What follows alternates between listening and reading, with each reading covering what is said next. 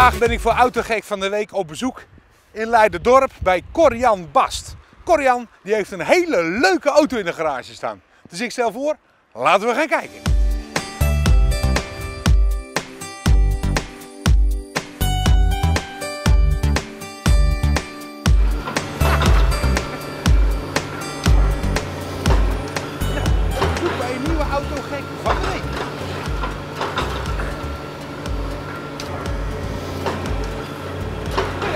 Hoi, ik ben Edo van Autoweek. Autoweek van de week. Jij bent Corian. Ja, jij bent Autoweek van eh, begrijp ik. Ja, want je hebt een bijzondere auto. Leuk man. Laten we verder praten ergens anders, want we hebben nogal een beetje veel.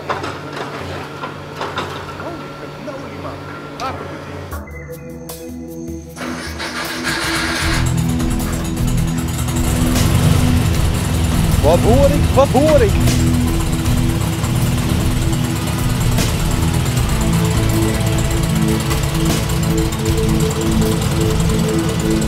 Wauw! Hij zegt kom er maar uit man, zet hem uit. Ongelooflijk. Wat hebben we eigenlijk mee te maken? Het is een eh, kever uit 66. Hij is eh, net geïmporteerd uit Amerika, althans een paar maanden terug, waar ik eh, eerst woonde. En ik heb hem eigenlijk meegenomen als, Het is een als Amerikaanse kever. Amerikaanse kever. Dus je hebt gewoon een Europese kever uit Amerika meegenomen als souvenir vanuit Amerika. Klopt, en dat komt eigenlijk omdat ik eh, ja, een, een, ja, souvenir mee, mee wilde nemen uit Amerika. En ik, had, Ja. en ik reed deze al daar en toen zei ik, waarom neem ik hem niet gewoon mee? Maar die reed daar ook al. Ja, en toen is, nu is hij weer terug als ja, Europese auto terug in Europa. Mooi zeg. Nou, ik wil hem heel graag verder bekijken, maar ik Is goed? stel voor dat we even ergens anders heen gaan. Want de graafmachines en toestanden die maken hier zoveel herrie. Ja, Dan kunnen we beter een mooi plekje uitzoeken. uitstekend.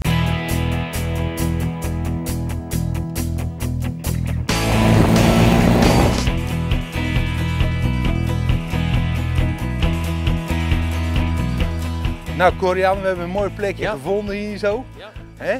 Lekker rustig. Erg rustig. Hoe kom je aan deze kever? Ik wil altijd al een luchtgekoelde eh, kever hebben. Die liefde bestond al. Die bestond al vroeger al, maar toen had ik een motor gekocht in plaats van de kever.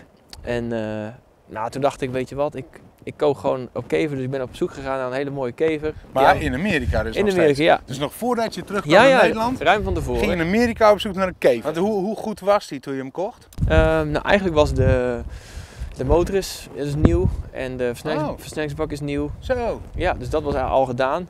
En, en, en hoe, hoe, hoe rot was deze? Eh, niet zo rot. Hij, ik moet nog steeds een anti-roestbehandeling doen. Dus ik moet nog, deze winter wil ik hem omhoog doen, gaan schuren en eh, behandelen met... Dus toen eh, hem kocht was die eigenlijk al vrij oké. Alleen moest oké. een nieuw blok en een nieuwe versnellingsbak. Die, dat was erin gezet, ja. En interieur afgemaakt was eigenlijk al relatief goed. Maar ja, een paar dingen aangepakt. Maar de motor liep niet goed.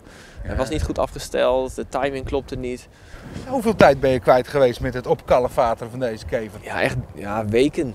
Ja, zie je. Ja. Maar niet aan één stuk door ook. Nee, je doet het een klein beetje. En ik Ja. moet zeggen, in Florida waar ik woonde was het lekker weer. Ja.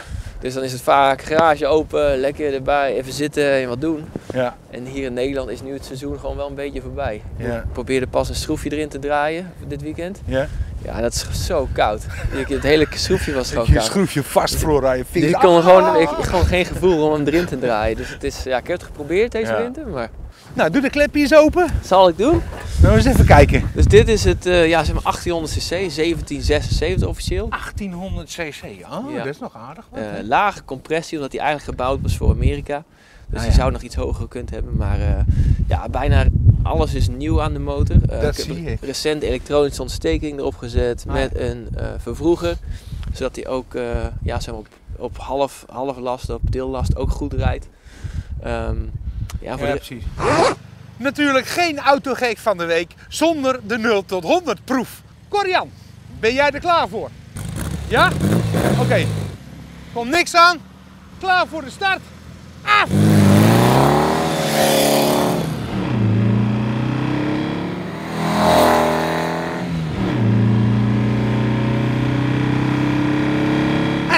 Oké.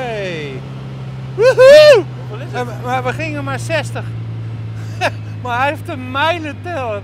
Dat is echt een Amerikaanse kever. Verbaas je het? Nee, Nee? nee, nee, op zich, ik denk dat het in mijn eentje iets sneller kan. Ja, natuurlijk, want En wij als ik er nog, erbij. dus op zich met een, eh, ja, zoals met z'n allen even van 0 naar 100 in 12 seconden met een Familiekevertje. We zouden kunnen zeggen dat een kever uit 1966 met een 1800cc blokje Ja. in 10 seconden van 0 naar 100 kan. Dat denk ik. Het is zo gek.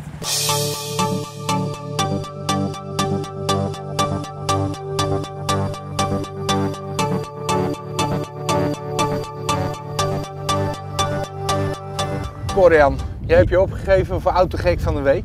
Ja, Waarom ben jij de autogek van de week? daar moet ik even over nadenken. Ja, doe maar. Waarom ben ik de autogek van de week? Ja, omdat ik zo gek ben om een kever uit Amerika mee te nemen naar Nederland. Ja. Wat financieel aan, gewoon niet aantrekkelijk is.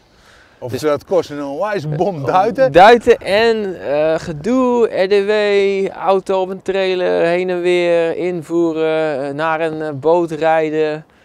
Om toch je klassiekertje uit Amerika mee te nemen naar Nederland. Ik denk dat het, ik denk dat het antwoord is. Dat is een mooi gebaar. Ja. Zullen we hem een kusje geven? eh, een kusje. Mooi kevertje. Toch? Ja, heel mooi. Of durf je dat niet? Ik geef geen kusjes. Eh Corian, ik durf bijna niet te vragen, maar denk je dat ik heel even een stukje Mag sturen. met de kever mag? Ik denk dat ze dat wel goed vindt. Nou, Nou, doe de deur maar dicht. ik heb er volste vertrouwen in.